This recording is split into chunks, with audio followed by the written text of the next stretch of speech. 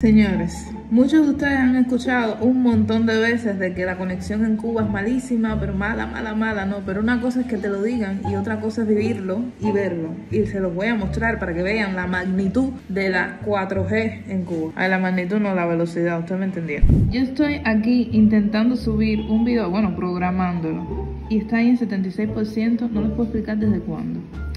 Entonces, este es el mismo video este que sin querer toqué publicar y yo sé que nunca va a llegar a publicarse porque siempre se queda ahí.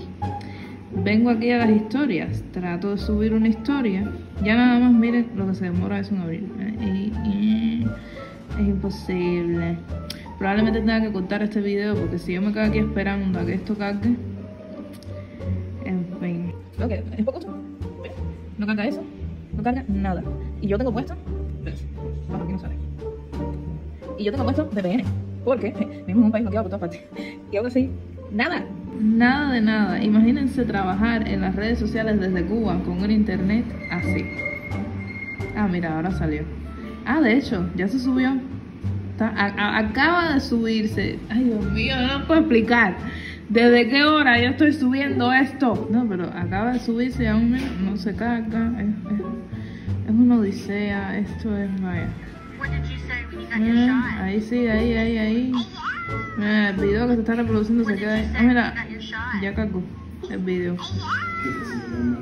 Pero en fin, sigue en 76 y esa cosa sigue ahí no hay manera de avanzar. Así que la próxima vez que veas a un youtuber cubano, a un influencer cubano, a un creador de contenido digital cubano en general, apóyalo. Si puedes, apóyalo, porque pasamos más trabajo del que deberíamos pasar. Detrás de todo ese contenido hermoso que, que creamos y que a ustedes les encanta, está todo este trabajo, toda esta situación. De hecho, miren, les voy a enseñar, volvió a empezar. Es necesario que se reconozca la labor de los influencers cubanos. Yo estoy aquí viendo, por cierto, a Yami, a Yami yo iba a decir, a Jessie igual. Mira, mira, ¿ven? Se paró. Ahí se quedó como congelado. Ustedes van a ver cómo continúa. Mira todo el tiempo que está eso ahí congelado. Yo llevo así, ya por cansancio, porque dije, ay, tengo ganas de escuchar algo ahí de fondo. Pero miren eso, te queda con las ganas. No, así lo que se me queda más grabado en la mente el mensaje que ella está hablando, porque es terrible. Lastimosamente es así porque ya me ha pasado. Ayer casuística. Mira, ah, se volvió a parar. Eh, se volvió a parar. Mira cómo la cogió. Y esto es con la 4G, señores. Con la 4G.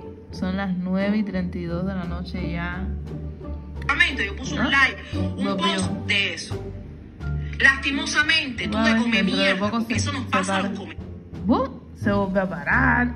En fin, que es una locura la conexión aquí en Cuba y que de verdad. Mierda. Uy, dame parar. A los come mierda. que de madre vivir aquí, trabajar en internet y que el internet esté así. Es casi imposible.